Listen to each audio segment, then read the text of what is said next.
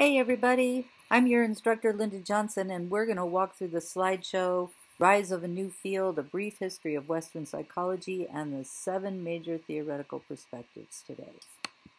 So on this first slide, this is an old medieval picture of doing some bloodletting to try to get rid of a strange behavior. Until, say, the mid 1800s, most of us did not think scientifically. We basically assumed that strange behavior like Schizophrenia would be some kind of spirit possession.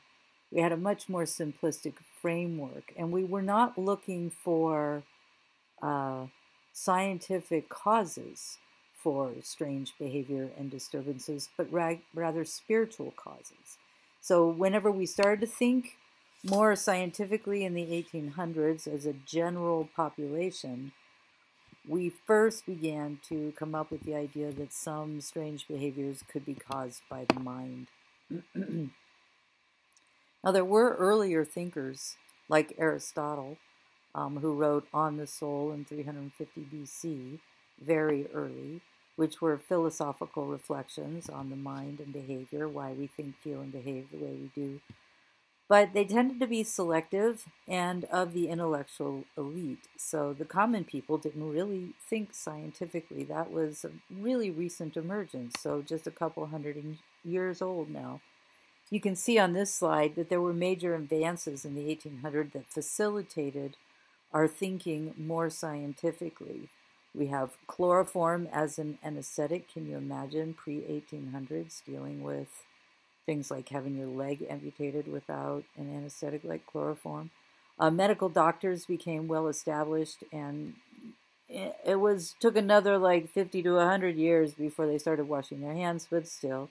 We had a lot of technological advances that improved instruments, coming up with the microscope and the thermometer.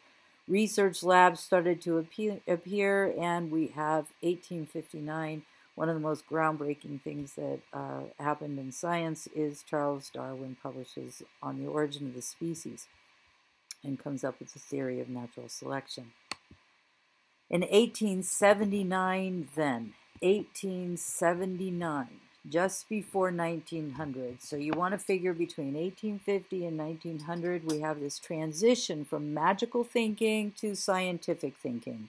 And we're still in that transition. Most of us now are much more scientific thinkers than magical thinkers. Some aspect of our magical thinking that still remains is things like superstitions, things like that.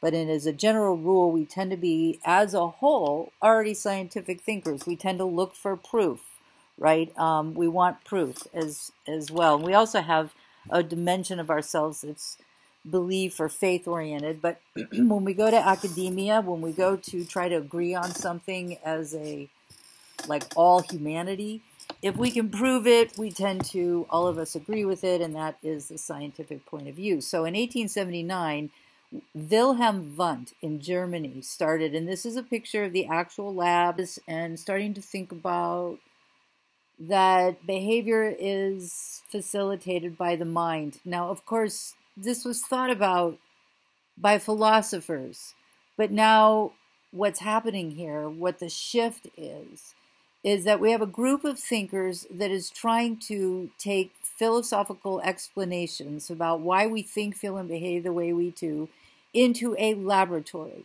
into a scientific environment where things can be proved.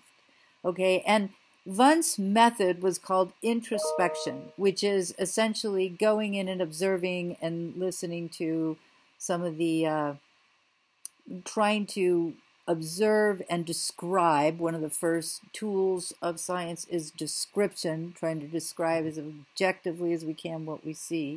Of course, we now know that all objective objectivity is subjective, right, to our perceptual system, but still.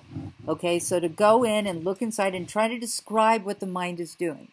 Describe what the mind is doing. So, a rather simple method, right? But still beginning to apply one of the first and primary scientific methods to the study of the human mind and behavior. So, highly noted for that. Um, in the U.S., we had Wundt's student named James Titchener, that's how you pronounce his name, who became one of the earliest professors of psychology at Cornell. And he expanded on Wundt's work to establish a school of thought called structuralism, which is in some ways very similar to a school of thought we have today called behaviorism. So we'll talk about that as we go along. And these are early thinkers that helped shape and develop today's mode of thought, which is the seven perspectives. So we're on our way to learning about the seven perspectives, which are seven theoretical frameworks that dominate the field today. Here we have a female graduate student, Margaret Floy Washburn, who became the first woman to be granted a PhD in psychology in 1894, late eight, late 1800s, right uh, at the turn of the century there, right before 1900. So she later served as the second female president of the APA and was very good at, wrote The Animal Mind, very good specialist at animal behavior, and that is still considered a seminal and foundational book for understanding animals. And many of us love animals like dogs and cats and so on. And she she was a great student of our um, animal companions, studying how they thought and behaved. We have another early American psychologist, William James, 1870s United States, authored what's considered to be the first formal psychology textbook. And notice how he opposed Wundt and Titchener's approach, argued that consciousness cannot be broken down into parts and is constantly changing. It is William James who coined the term stream of consciousness. So, because the stream of consciousness is always flowing, growing, and changing, you cannot necessarily try to figure its exact structures. It turns out that both Titchener's structuralism and James' functionalism approach are both correct, as you'll see, and these are early precursors to some of the major perspectives that we have today. And then we have Mary Whiton Calkins, who was one of William James's students, not allowed to receive her PhD at Harvard because she was a woman, um, where she was able to get her PhD at Wellesley, which was a women's college in 1905. So notice that we're still going through some of these transitions. Women even didn't get the right to vote until 1920, if you remember, in the United States. There's a great film on that to watch with Hilary Swank called Iron Jawed Angels if you want to know what it took an impressive uh, amount of taking a peaceful stand, one of the best, most successful peaceful revolutions we've had in the United States, taking a peaceful stand that took a lot of courage against a lot of um, opposition. Okay, so now we have the rise of one of the first major schools. So you can write number one on here. One of the first major perspectives is what we're going to be talking about here behaviorism. And behaviorism rose directly from these early schools, right? And the essence of behaviorism is understanding how people's and animals, like rats and dogs and pigeons, how, how live beings' behavior is influenced by their environment. How our behavior is influenced by our environment. Now, in the early years of psychology, they really liked behaviorism because it's very scientific. We can measure how hard a mouse will fight or work to get a piece of cheese, right? And since we can measure that in a laboratory and make predictions on it, behaviorism, watching behavior and seeing how things will change behavior, rewards and punishments, for example, is pretty easy to directly measure and watch. So that's why it became one of the early scientific schools of psychology. And since animal learning, our own learning and those of other species like dogs, pigeons, rats, mice, is pretty easy to observe and measure, behaviorism also became associated with learning theory. So behaviorism and learning theory are parallel terms. They mean the same thing. And behaviorism is essentially referring to how the environment shapes, conditions, or trains our behavior. And you hear terms like reinforcements and punishments come up on this. Now, we humans are really remarkable learners. I mean, shockingly good learners. We're learning machines, right? And we are constantly learning. And it's our ability to learn that, is, that has helped us climb from say being very much a prey animal to being uh, the top here of the you know hierarchy when it comes to predatory, and power, right?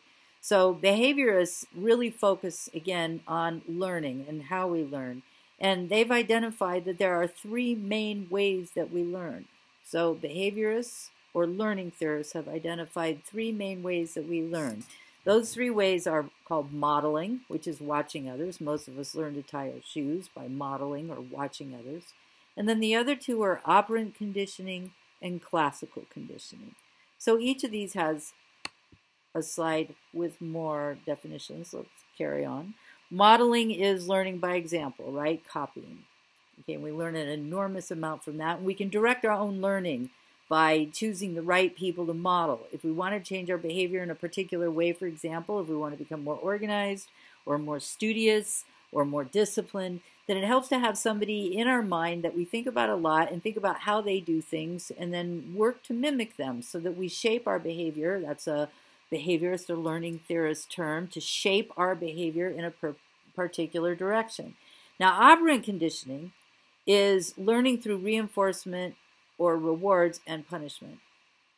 And operant, they call it operant because the environment is operating on you, right? And influencing your behavior, right? So these two little lemonade stand kids, if people come and pay 10 cents for their lemonades and they have they get reinforced, then they will probably try a lemonade stand again. But if they stand there for days and days and not a single person comes by and buys a lemonade, then their behavior is going to be what psychologists would say they would call it punished. It's going to be extinguished or punished. It, it's not going to be increase the likelihood it will occur. When when psychologists talk about reinforcement and punishment, what they're referring to is reinforcement increases the likelihood that behavior will occur.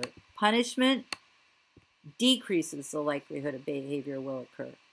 Okay? And it gets more complicated. We have positive and negative reinforcement. And in these cases, positive means adding and negative means taking away. So we can add something that reinforces the likelihood that a behavior will occor, like these, you know, adding 10 cents and these kids making money, so it's likely they'll do a lemonade stand again.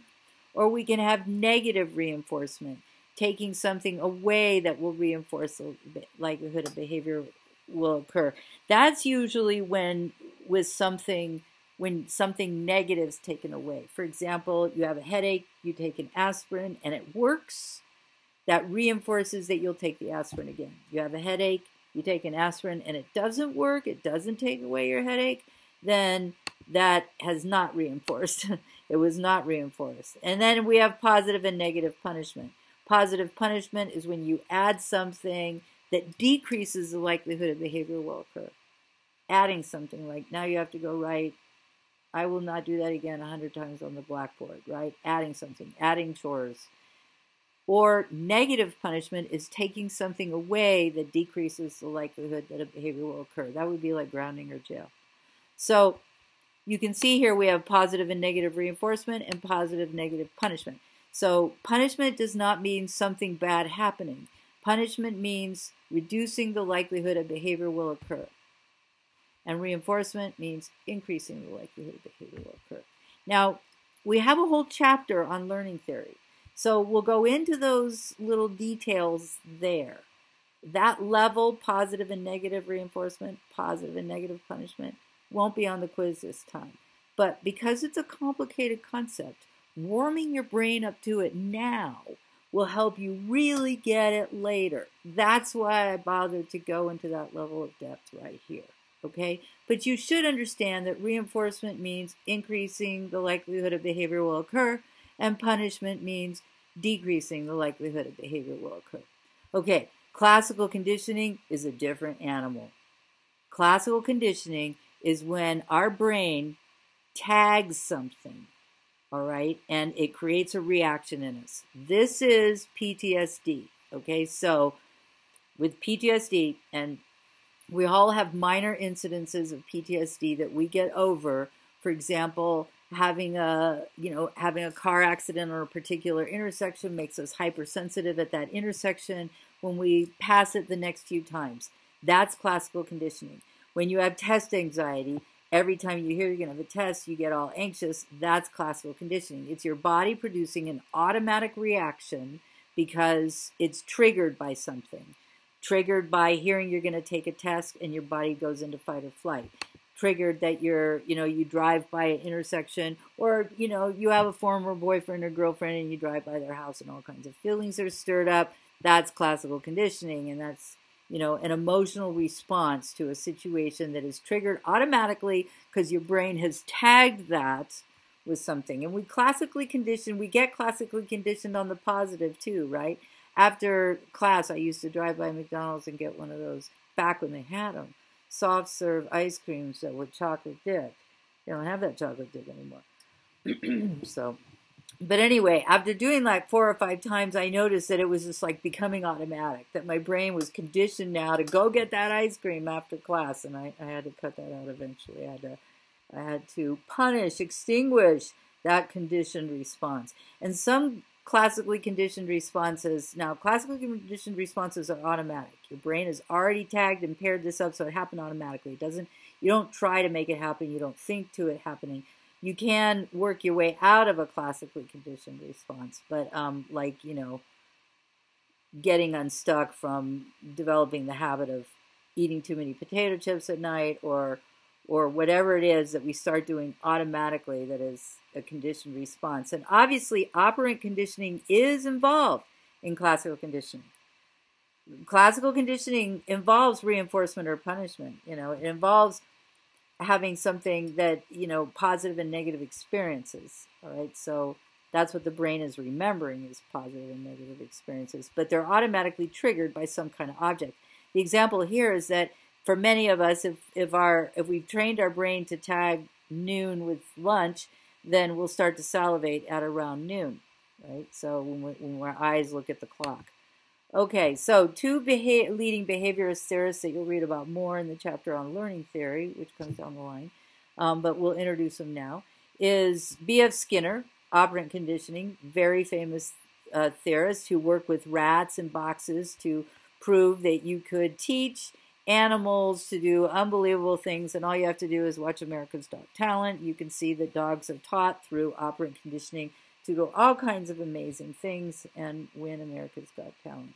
So, and they do this by step by step by step by step by step learning, you know, reinforcing the tiniest bit of behavior that moves toward a particular direction. And we can do that with ourselves and with the people in our lives too. There's some fun videotapes we'll watch about this about how to get someone to do things using operant conditioning and what to expect. Because people are a little bit more complicated than rats, so we're a little bit trickier.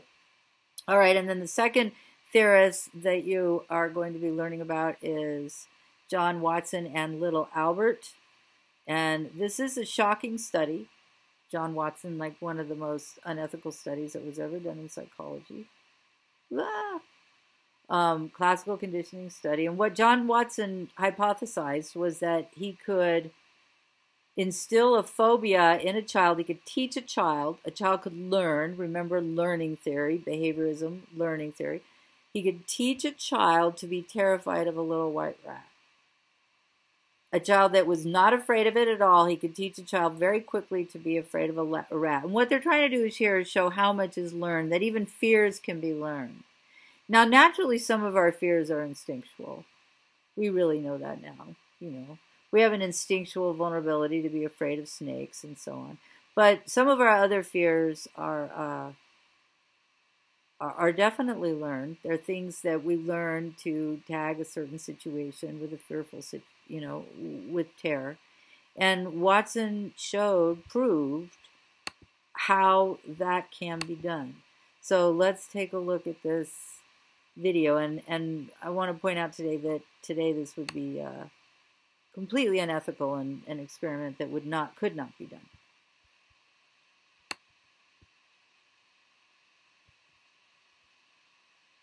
In the early part of the 20th century, psychologists John Watson and Rosalie Rayner set out to teach a baby boy called Little Albert to fear white rats using the principle of classical conditioning. This is a film of their work. The film shows several phases of their study. First, as you see here, the investigators demonstrated that prior to conditioning, little Albert had no fears of any animals, including, of course, white rats.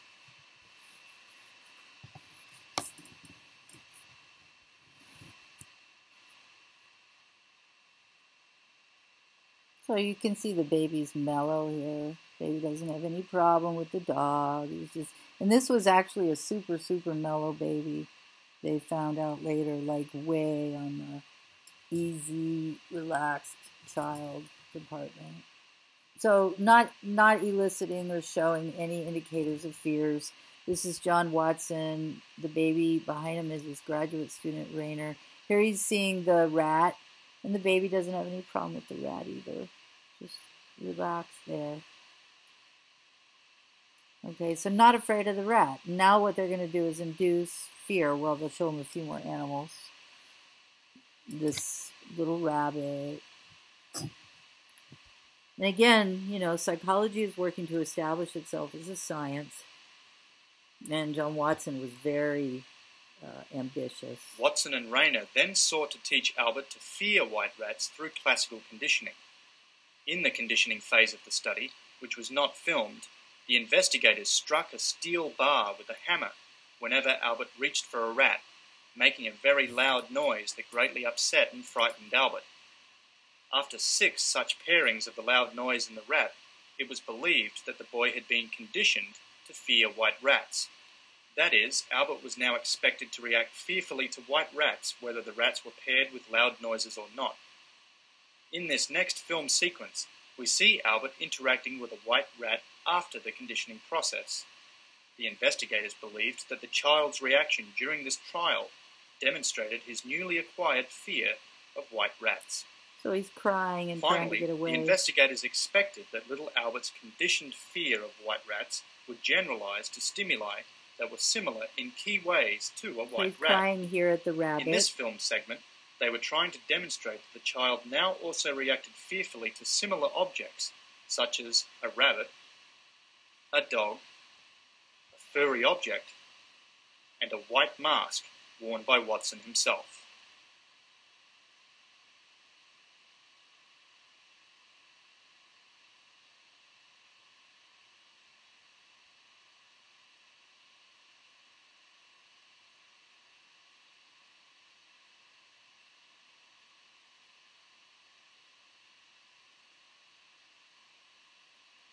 Not much empathy happening here and and that particular scene right there strikes me as reflecting some very strange things about John Watson. Now, what happened here clearly was that these guys induced Watson and Rayner induced a fear in the baby. Now they they basically created a post traumatic stress experience and so being a very young child uh, little Albert associated a fear with the white mouse and then generalized that fear to other furry objects, but not so much this white mask, although it's very strange to go throwing that into a child's face.